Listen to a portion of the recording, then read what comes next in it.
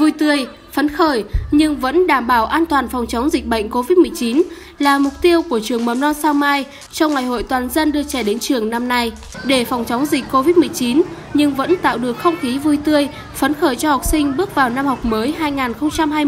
2020-2021. Trường Mầm non Sao Mai có địa chỉ tại ngõ 119 Hồ Đắc Di, phường Nam Đồng, quận Đống Đa, Hà Nội, đã có cách tổ chức khai giảng trực tuyến sáng tạo, ngắn gọn nhưng vẫn trang trọng, ý nghĩa. Do diễn biến phức tạp của đại dịch COVID-19, Ban giám hiệu trường Mầm non Sao Mai đã thống nhất tổ chức lễ khai giảng cho hơn 400 trẻ của 11 lớp mẫu giáo đang theo học tại trường theo hình thức trực tuyến.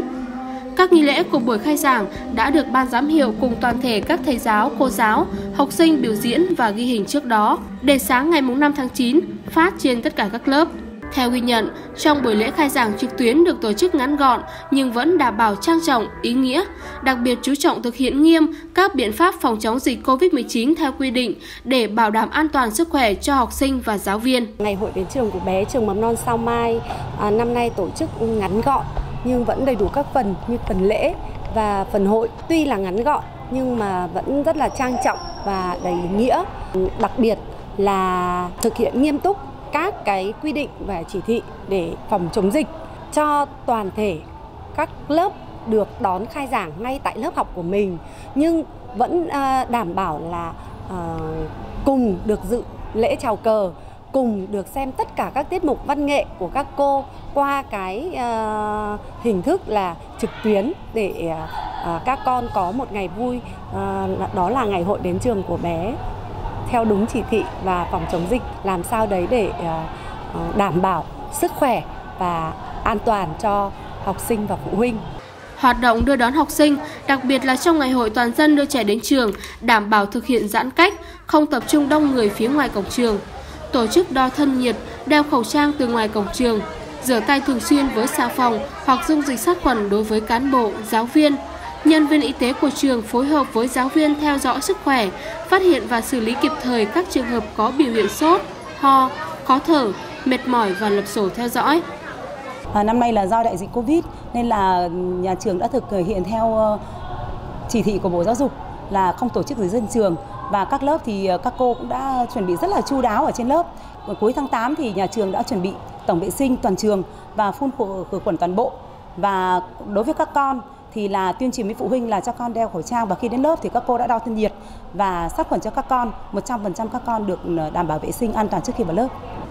Trường Mầm non Sao Mai gồm 11 lớp học được xây dựng khang trang kiên cố, 4 tầng trên khu đất hơn 1.300 m2. Khu lớp học, khu sân trường và không gian vui chơi rộng rãi, an toàn. Cơ sở hạ tầng luôn được quan tâm đầu tư nên trường luôn thuộc top đứng đầu về số lượng học sinh và đạt được những thành tích đáng nể.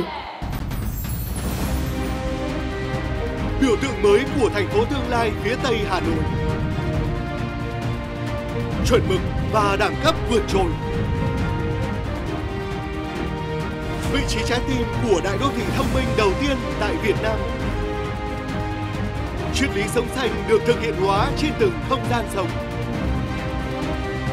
Imperia Smart City, thành Big Live Smart, một sản phẩm cao cấp của tập đoàn Big Group. Từ khi thành lập đến nay, nhà trường luôn quan tâm về việc phát triển toàn diện cho học sinh, nâng cao chất lượng chăm sóc giáo dục trẻ, xây dựng môi trường học tập theo nhóm, áp dụng phương pháp dạy học tích cực và tạo cho các con được học tập, vui chơi và phát triển trong một môi trường giáo dục toàn diện nhất.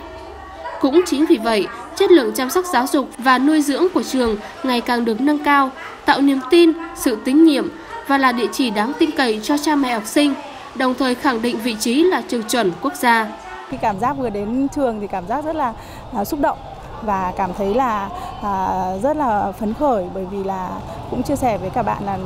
các con nghỉ dịch cũng rất là lâu rồi mà hôm nay thì các con à, được đến trường thì à, như là cả cá nhân con mình là rất là phấn khởi được gặp lại thầy cô bạn bè và khi đến trường thì thực sự là bất ngờ cảm thấy là cái sự chu đáo cái cái tận tận, tận tâm các thầy cô à, đã chuẩn bị một cái lễ khai giảng rất là à, tình cảm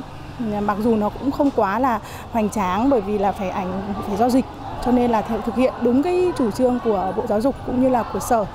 Ban giám hiệu trường mầm non Sao Mai luôn được các bậc phụ huynh học sinh đánh giá dày dặn kinh nghiệm, tâm huyết, giàu lòng yêu trẻ, năng động, cập nhật nhanh với xu hướng giáo dục hiện đại.